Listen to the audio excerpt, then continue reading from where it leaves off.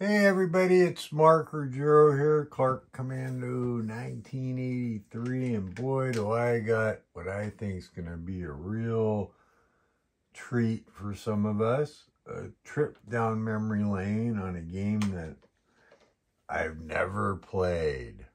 um, uh, well, let me say this. Really important for me. If you like this content, please like, Please subscribe to my channel. Please comment. It's all really helpful.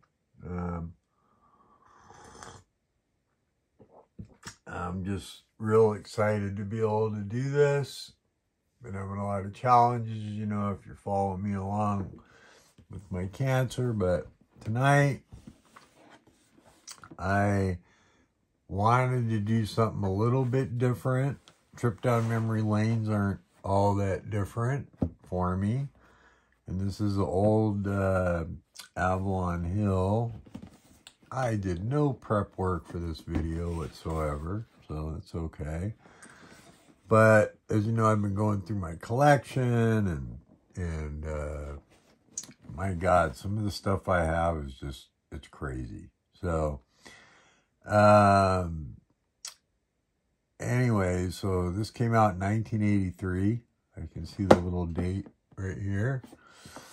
And so you could kind of call this an unboxing, but it's also a trip down memory lane because it's such an old game. And I never played it. I played uh, a lot of Advanced Dungeons & Dragons First Edition up until I went into the military and along with wargaming, and I had to kind of make a decision in my life. Do I want to do RPGs or do I want to do role playing? Well, I've bought a lot of RPGs over the years, and but I picked wargaming, and which I'm glad I did. And but role playing will always have a special place in my heart.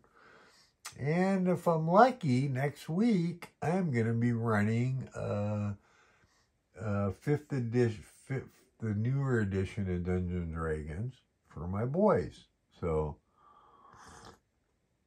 I'm kind of excited about that. It's going to be my first try in, you know, let's see, 40, 40 freaking years plus.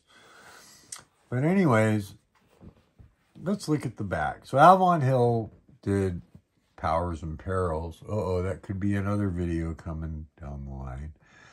Um, but it says Lords of the Creation, the ultimate role-playing game. A game of science, fantasy, science fiction, and high adventure that explores the farthest reaches of your imagination. Splendid adventures take place throughout time, space, and other dimensions. It's been designed for both experienced role-playing gamers, I'm just reading the back, and beginning uh, and beginners. Of Creation allows unlimited voyages via your imagination through time and beyond, worldly dimensions. Journey in the magical realms, by, ruled by swords and sorcery, battle bizarre aliens and killer robots on mysterious planets. Uh, mystery, horror, and there's it goes on and on. The combat system includes 53 different types of weapons, ranging from swords and spears to proton beams and blasters. More than 450 foes uh, to challenge the most daring and role-playing players. 100 different non-combat skills and 53 combat skills. Characters can learn as they gain experience. And 60 different powers that characters can slowly gain. So let's see. Now, I know that this has some extra stuff in it because I cheated and peeked earlier.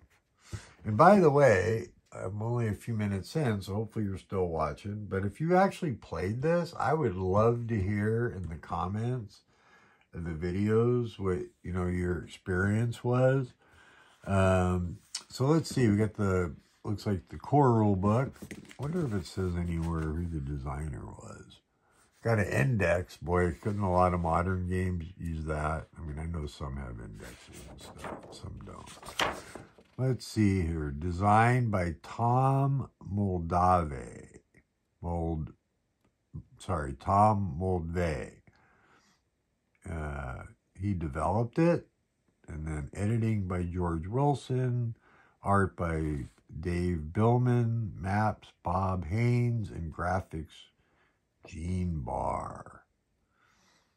Uh, let's see here. Who play tested this? Mark Akers, Chuck Balters, uh, Brett Brockham, Charles Britton, Elmer Britton, and Dave Bull, Bull, Bullis. Okay. Uh, and a whole bunch of other people over here that I'm not going to go through. Um, so let's see. Oh, I don't recognize any of the names. But anyways, let's just look here. The Kingdom of Nubia. What's in the front of the rule book? Let's look. Let's see. So how many pages is this? Uh, looks like 61 pages, but it looks like we got uh, different uh, settings here. Paris in the swashbuckling era. So there's some historical stuff here. Let's see. Maybe that's what this is. I thought it was different worlds. No, the Kingdom of Sebro. So that looks like, yeah, it looks like there's a bunch of, of course, that's our Earth. looks like just a bunch of cool earthly stuff. Uh, let's see here. The land of Okay. Let's see what the introduction says. I'm not going to go through this. Part two, creating characters. I'm going to have to actually read this. Like, I've had this for like a million years, and I've like never even read it. So, terrible, I know. Um, I mean, I may have read it way, way back. I just don't remember. Uh, let's see. So I don't want to read that. It's boring. What is a role-playing game? Uh, does it need a board? I think we all know what a role-playing game is. Uh, let's see. What do we got? Uh, scenarios, encounters. Okay. Doesn't have the what do you need part. I don't see that. Um, cool. Well, anyways, that's the rule book. Maybe not as exciting as I thought this would be. Let's see what's in the Book of Foes. Look at the condition of this. All the years we've had this, it's still really amazing. Oh, and I got adventures in there too. Awesome. So, anyways, all right back of this, by the way, says April 1984. So the box said 83, but I'm sure this has all kinds of cool creatures. I've got a, it would be interesting to read this and see how much it um,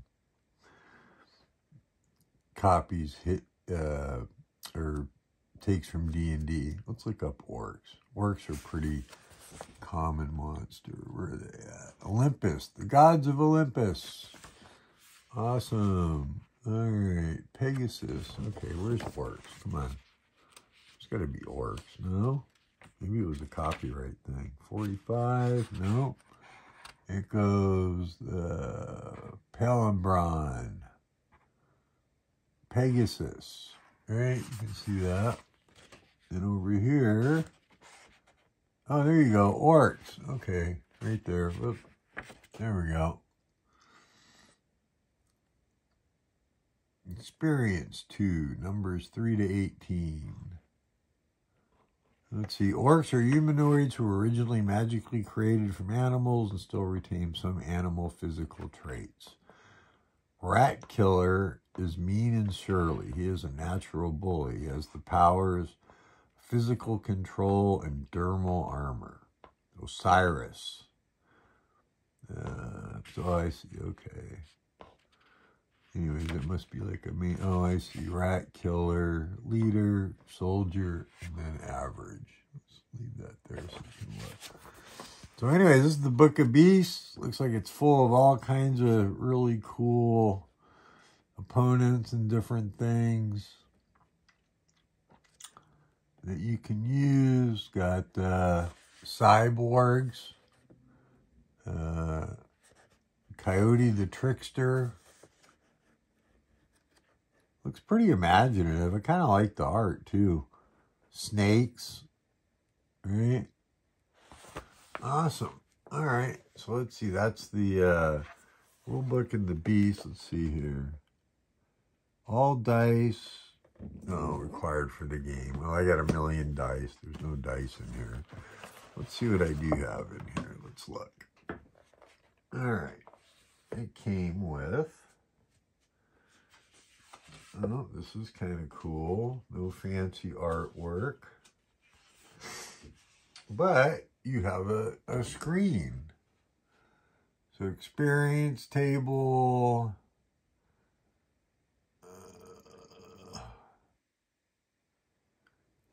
modern equipment list, ranged weapon chart, close combat weapon chart, Lord of Creation Game Master screen. Any item on the equipment, modern equipment list can be upgraded as futuristic at twice the normal cost in credits. And it's got a list of futuristic equipment and antique and then multiple attack table. Whatever that would mean. I guess I'd have to read the rules. Armor table. Reaction. So it looks like a screen, but you got all kinds of tables on both sides. I'm not quite sure how to use that. Then, yellowed with age. I got a cool character sheet, basic abilities, mods, player, character, character skills, character powers. Uh, it's got just all uh, experience points, armor, title, physical. Looks like you have muscle, speed, stamina, mental, and luck. And then the total for your ability scores, weapons. What's on the back, I wonder? I want to tear one of these off. Pad's still intact. And it's just a copy of you exactly like that. So there's a, a ton of records here.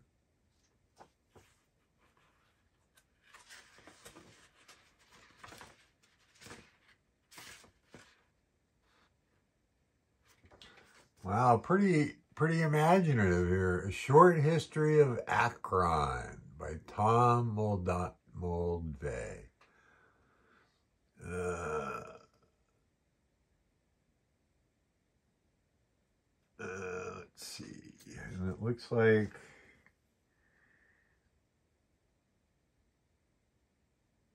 it looks like it's actually a small oh Akron. Akron, Ohio. Duh. A short history of Akron, Ohio. Okay, that's pretty cool. Uh, let's see what else is in here I got. Let's go with the adventure. Oh, wow. This is kind of cool, actually. I'm going to show you this. This is really neat, actually, I think. I'm assuming it goes with this. I haven't read it, but...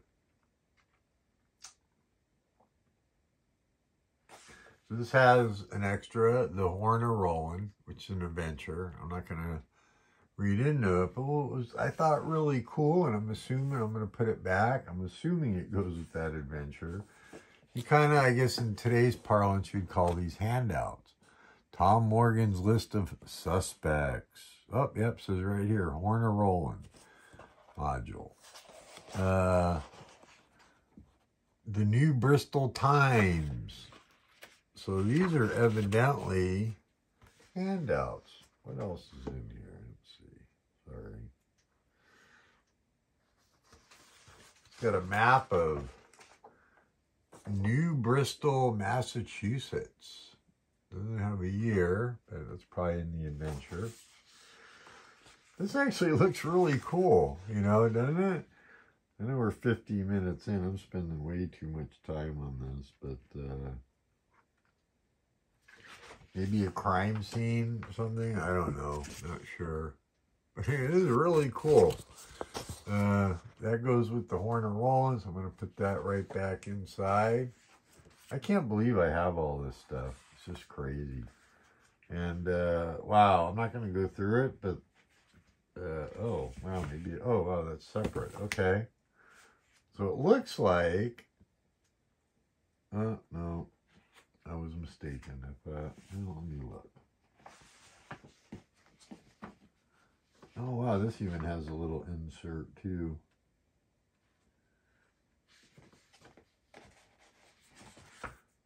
Omegakron. And this has an insert also, not as extensive as the Horn of Roland. And then, I have no idea what it is, but the Yeti Sanction. Look at that. Isn't that man, that is really cool. I like the artwork, actually. Um, this also has, uh, looks like two inserts, maybe three. Okay, actually has a map of the District of Columbia inside. So Avalon Hill stuck to their thing, but here's a map. I don't know, does it say what it is? Uh, it doesn't say. Map of, oh, Everest. Okay. So I'm going to assume that this ice wall and Everest, maybe that's all real, uh, from a real map. I don't know. But hey, thanks for joining me in this video. I took about 16 minutes of your valuable time. Now, actually a little more because I'm not done yet, but I will be. And I hope you enjoy this. I just, you know, I honestly really love just pulling out some of my old games. I'm going to actually have to at least spend a little bit of time reading through this or some of it. I'll, I'm sure, I don't know, I'm sure I'll never play it, but who knows. Like I said, if you've played this, it'd be wonderful to hear your stories and your what your experience was with it. It looks really cool. If you are interested, I know you can still pick this up on the secondary market pretty cheap. So I don't know about with all the extra adventures and stuff, but anyways, thanks for joining me. Just have a wonderful evening. Thanks.